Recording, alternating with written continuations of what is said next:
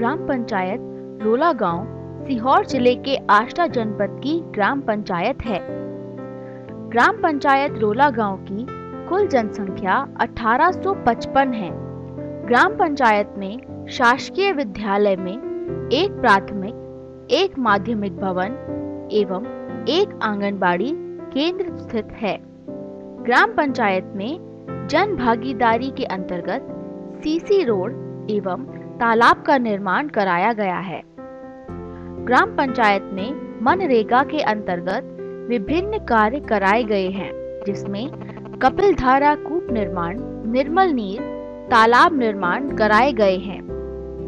Gravel road का निर्माण कराया गया है, एवं पंचायत द्वारा पंच परमेश्वर योजना के अंतर्गत एक सीसी रोड का निर्माण कराया गया है, जो ग्राम को मुख्य मार्ग से जोड़ता है। ग्राम पंचायत में निवास करने वाले ग्रामीण मुख्यतः कृषक हैं जो मुख्यतः गेहूँ, चना सोयाबीन की खेती करते हैं। सिंचाई व्यवस्था के लिए ग्राम पंचायत द्वारा तालाब एवं कुओं का निर्माण कराया है। ग्राम पंचायत रोला गाँव में 10 घंटे पर्याप्त मात्रा में बिजली मिलती है।